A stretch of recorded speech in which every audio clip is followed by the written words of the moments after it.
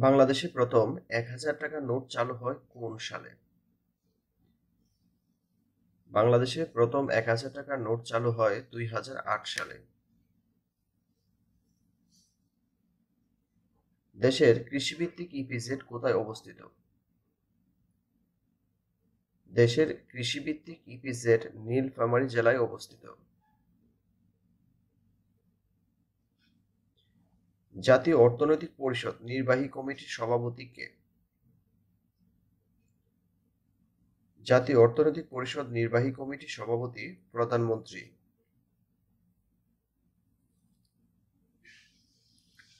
বাংলাদেশ সরকার কোন খাত থেকে সর্বোচ্চ রাজস্ব আয় করে? বাংলাদেশ সরকার মূল্য সংযোজন কর থেকে সবচেয়ে বেশি রাজস্ব আয় করে। কর আদায়ের দায়িত্ব কার? কর আদায়ের দায়িত্ব জাতীয় রাজস্ব বোর্ডের।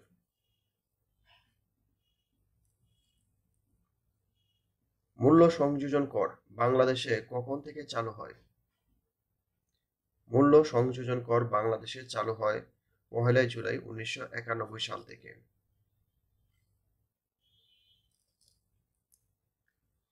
বিশ্বব্যাংক কবে বাংলাদেশকে নিম্ন মধ্যম আয়ের দেশের তালিকায় অন্তর্ভুক্ত করে?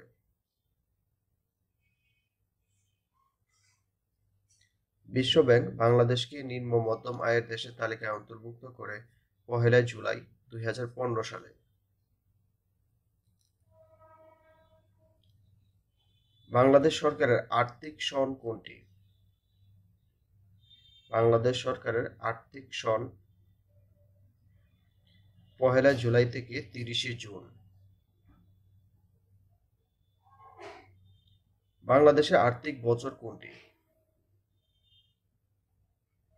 বাংলাদেশের আর্থিক বছর July to June. Secondary market কিসের সাথে সংশ্লিষ্ট?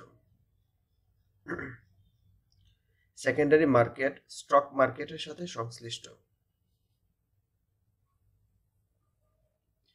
বাংলাদেশ স্টক এক্সচেঞ্জ কতটি? বাংলাদেশে স্টক এক্সচেঞ্জ দুটি। নিম্নের কোনটি? বাংলাদেশ সরকারের কর বহির্ভূত রাজস্ব।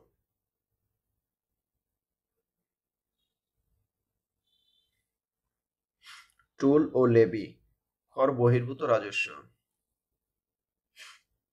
কর্মসংস্থান ব্যাংক প্রতিষ্ঠিত হয় কোন সনে? কর্মসংস্থান ব্যাংক প্রতিষ্ঠিত হয় উনিশশো আটানব্বই সালে। বাংলাদেশের অন্যতম বিশেষায়িত ব্যাংক কোনটি? বাংলাদেশের অন্যতম বিশেষায়িত ব্যাংক বাংলাদেশ কৃষি ব্যাংক। এ উপমহাদেশে প্রথম ব্যাংকিং ব্যবস্থা চালু হয় কোন আমলে? ভারতীয় উপমহাদেশে প্রথম ব্যাংকিং ব্যবস্থা চালু হয় মুঘল আমলে। বাংলাদেশ সিকিউরিটি প্রিন্টিং প্রেস কোথায় অবস্থিত? বাংলাদেশ সিকিউরিটি প্রিন্টিং প্রেস গাজীপুরে অবস্থিত। বিকাশ কোন ব্যাংকের জয়েন্ট ভেঞ্চার হিসেবে কাজ করে? বিকাশ ব্রাক ব্যাংকের জয়েন্ট ভেঞ্চার হিসেবে কাজ করে। কৃষি নির্ভর বাংলাদেশ, কৃষি নির্ভর বাংলাদেশ কৃষি ব্যাংক প্রতিষ্ঠিত হয় কত সালে? কৃষি ব্যাংক প্রতিষ্ঠিত হয় উনিশশো সালে।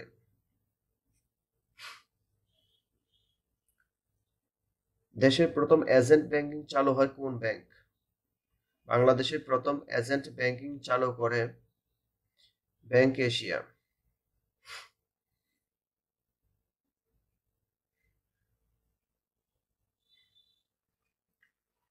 ব্যাংকের চেকের, চেক নম্বর লিখা ও পড়া হয় কোন পদ্ধতিতে?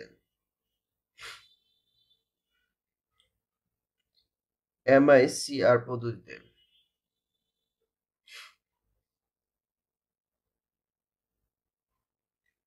বাংলাদেশ ব্যাংকের প্রথম গভর্নর কে ছিলেন?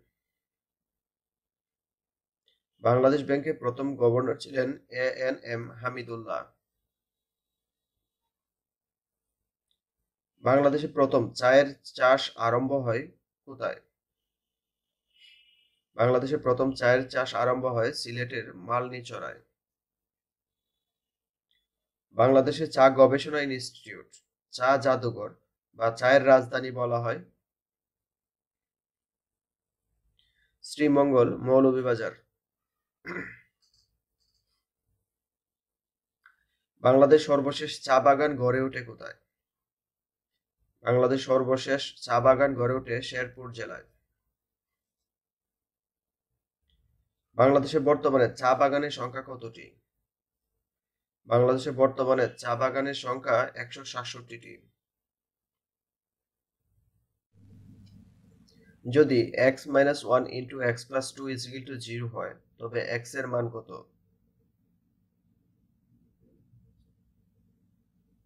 ওয়ান অথবা minus two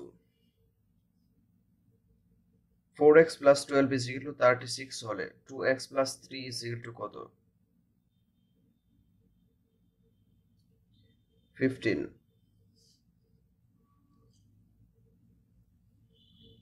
two X plus three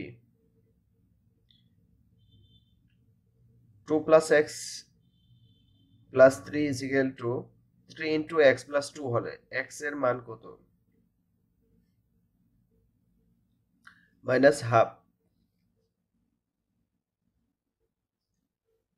X minus five into X A plus X is two X square minus twenty five হলে এ এর মান হবে five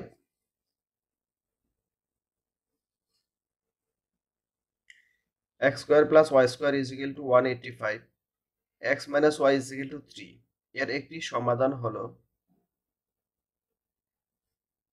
11 and 8 যদি x cube plus hx plus 10 is equal to 0 এর একটি সমাধান 2 হয় তবে h এর মান কত minus nine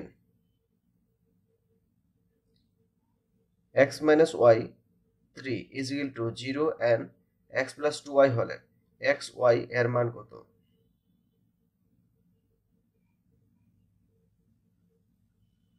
One and one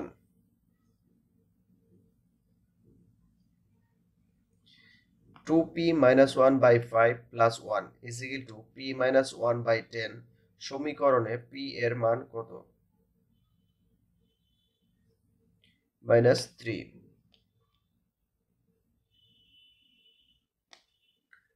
two X plus two by X is equal to four হলে এক্সের মান কত?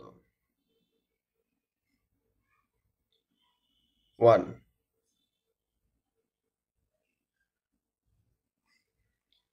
X by three minus X by four is equal to X plus one by six সমীকরণে এর মান কত?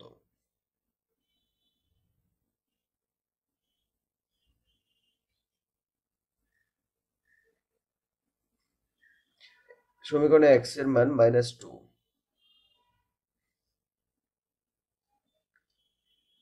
X by A plus X by B is equal to one সমীকরণে এক্সের মান কত?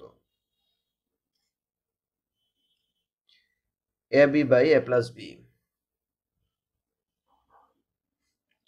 যদি X by three minus X by five is equal to two হয় এক্সের মান কত? Fifteen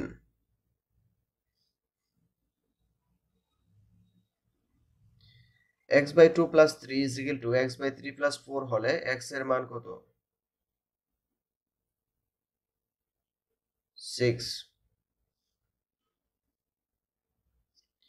একটি শ্রেণীতে প্রতি বেঞ্চে পাঁচজন করে ছাত্র বসলে পাঁচখানা ব্রেঞ্চ খালি থাকে। কিন্তু প্রতি বেঞ্চে তিনজন করে বসলে সাতজন দাঁড়িয়ে থাকে। ওই শ্রেণির ছাত্র সংখ্যা কত? পঞ্চান্ন জন।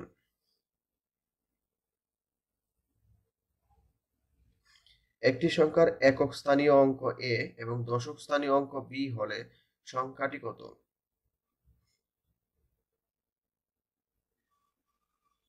এ প্লাস টেন বি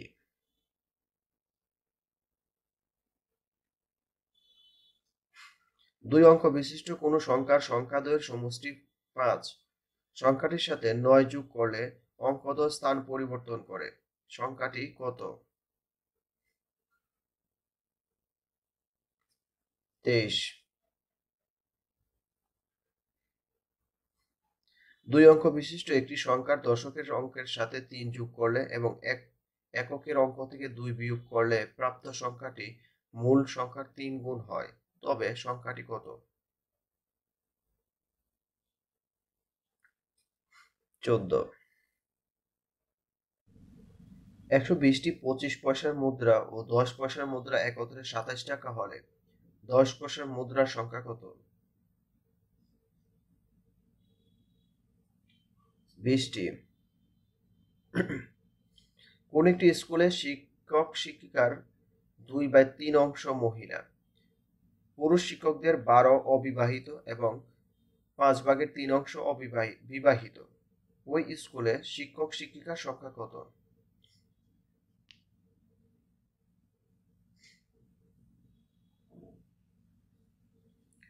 নব্বই জন।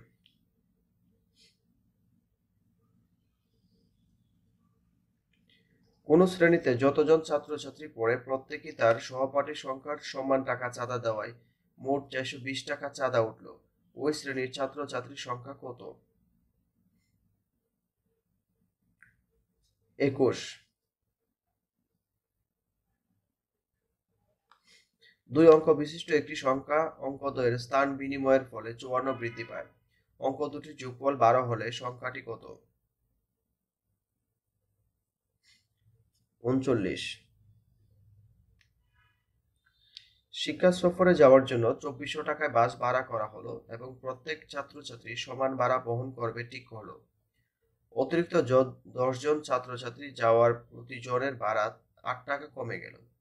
বাসে কতজন ছাত্রছাত্রী গিয়েছিল?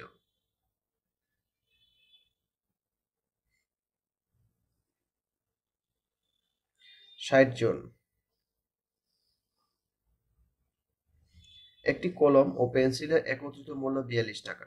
যদি পেন্সিলের মূল্য কলমের মূল্যের এক ভাগের ছয় ভাগের এক অংশ হয়, তবে কলমের মূল্য কত?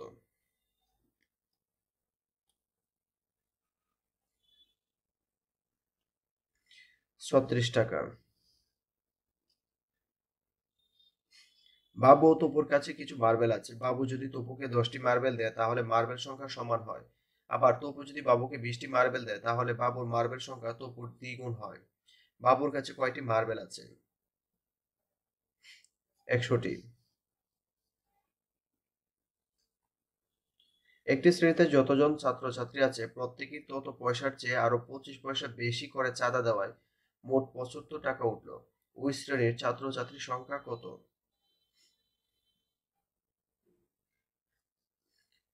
একশো।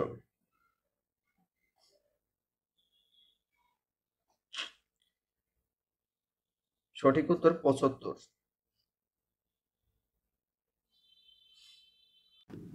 সম্পূর্ণ ভিডিওটা দেখার জন্য আপনাকে অশেষ ধন্যবাদ। কয়টা প্রশ্নের সঠিক উত্তর দিতে পারলেন তা আশা করি কমেন্টস করে জানাবেন।